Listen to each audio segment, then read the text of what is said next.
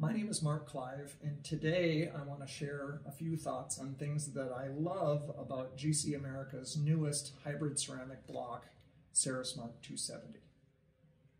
So what are the few things that I love about it? Number one, it has increased strength and increased longevity, which makes for increased fracture resistance long-term for the restoration.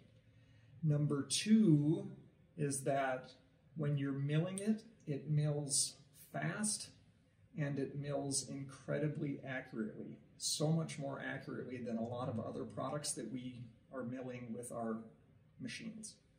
And number three, its finishing system is fantastic, meaning you can polish this and cement this right just as it is or if you are interested in characterization for this product, you can use GC uh, America's OptiGlaze kit or another characterization, characterization kit that you may have in your office. So those are three things that I love about this product. So if you haven't tried Cerasmart's 270 product from GC America, I'd encourage you to use it. It is my go-to hybrid ceramic block.